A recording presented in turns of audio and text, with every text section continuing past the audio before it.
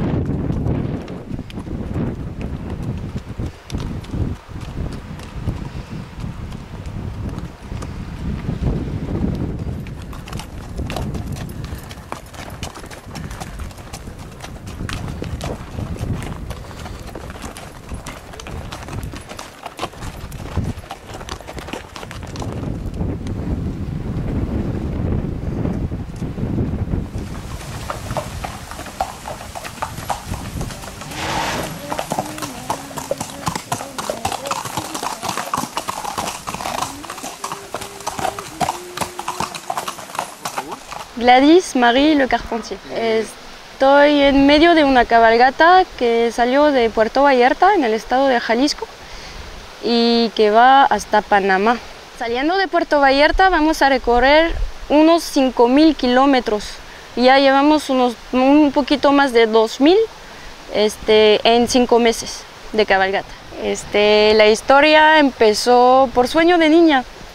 Este, yo siempre he querido este, viajar a caballo y además este, pues, la vida hoy va muy rápido, la gente quiere siempre más, o sea, hay personas que hacen la vuelta del mundo pero agarrando un avión, otro avión y no toman el tiempo de descubrir realmente un país tan real como es. Entonces a caballo vamos por los pueblos, las brechas de un país y vamos conociendo pues la gente, sus costumbres, pero sin, ¿cómo decir? Este, sin turismo, sin, sin cosas turísticas, o sea, las cosas tan real como es, como son. Y pues a caballo este, vamos respetando la tierra y el aire, no contaminamos nada, pues es ecológico descubrir, este, tener una vida nómada, este, cada día lleva una cosa nueva, ¿no?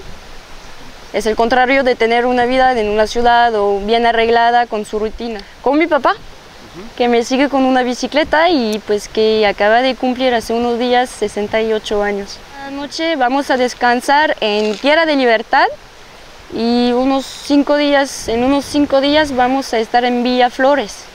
Estamos en el estado de Chiapas muy bonito. México es, o sea, la travesía supuestamente, supuestamente es travesía de Centroamérica a caballo, supuestamente no incluye México. Pero yo este, había vivido en México antes y aquí quería empezar mi cabalgata porque la generosidad de la gente es increíble y es el mejor lugar para empezar un viaje así porque sí, estamos este, dependientes a veces de la gente, de la gente del pueblo para darnos hospedaje, donde pueda encontrar comida, grano de maíz para mi caballo, este, una persona que me puede vender herajes, entonces sí. Este, una organización humanitaria que se llama la Guilde du Red, ayuda en muchos proyectos a través del mundo. Y pues a veces cuando hay un proyecto de pura aventura que les interesa, apoyan también. La, mm, el Departamento de la Juventud y de los Deportes de Francia también me han apoyado. Y después el patrocinamiento fue más por, por el equipo, ¿no? el equipamiento. Y unas personas me han regalado muchas cosas. Por ejemplo, este, la albarda que hoy no tengo porque viaja desnuda a la yegua, pero me viene de Nueva Caledonia, de Nueva Caledonia, donde hay también este, una persona que viaja a caballo y pues no lo conozco, sino que se entejó de la página web, el sitio www.equiaventuras.com le gustó el proyecto y me dijo, pues de repente te mando mis bolsas, te mando mi albarda y si te gusta, pues ándale. Sí, sin problema. Está en francés, en español y en inglés. es www.equiaventuras.com. Pues el mensaje no es una frase mía, ese, yo no he inventado nada, es una, un dicho de Saint-Exupéry que dice, haz que tus sueños devoren tu vida antes que tu vida devoren tus sueños. Así es, así sería. Muy bien, muchas gracias. De nada. Y mucha suerte en tu viaje. Muchas gracias. Que tengan buen día.